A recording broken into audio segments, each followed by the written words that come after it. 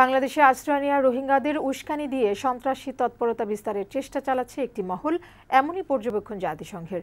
সকালে রাজধানীর একটি হোটেলে আন্তর্জাতিক কর্মশালার উদ্বোধনীতে একথা বলেন জাতিসংঘের under secretary general Adama Dieng এবং বাংলাদেশে নিযুক্ত বিশেষ প্রতিনিধি মিয়া সেপো। তবে সংকট রোধে প্রয়োজনীয় ব্যবস্থা নেওয়া হয়েছে বলে এ সময় জানান পররাষ্ট্রমন্ত্রী আবুল হাসান মাহমুদ আলী। কাজী বাপ্পার প্রতিবেদন। রাজধানীর একটি হোটেলে জাতিসংঘের উন্নয়নমূলক সংস্থা ইউএনডিপি, জাতিসংঘের office of genocide prevention and the responsibility to protect এবং সেভ অ্যান্ড সার্ভ ফাউন্ডেশন আয়োজন করে এই কর্মশালার।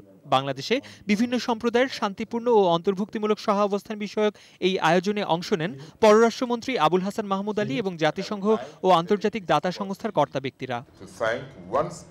এ সময় জাতিসংঘের কর্মকর্তারা বলেন কক্সবাজারে আশ্রয় নেওয়া রোহিঙ্গাদের উস্কানি দেওয়ার মাধ্যমে স্থিতিশীলতা নষ্টের চেষ্টা চালাচ্ছে একটি বিশেষ গোষ্ঠী যা জাতীয় পর্যায়ে নিরাপত্তা ঝুঁকি তৈরি করছে। আমাদের পর্যবেক্ষণ বলছে রোহিঙ্গাদের সাম্প্রদায়িক উস্কানি দেওয়া হচ্ছে যা বাংলাদেশের নিরাপত্তার জন্য ঝুঁকি হয়ে দাঁড়াতে পারে।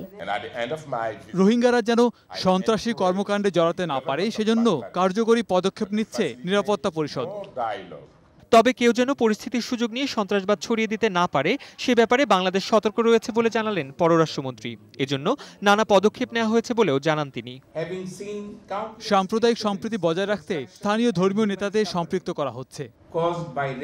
কর্মশালা ও আলোচনায় বক্তারা স্থানীয় ও জাতীয় পর্যায়ে সন্ত্রাস ও জঙ্গিবাদ রোধে তৃণমূল পর্যায় থেকে ধর্মবর্ণ নির্বিশেষে সবাইকে নিয়ে কাজ করার পরামর্শ দেন। কাজী বাপ্পা বৈশাখী সংবাদ ঢাকা।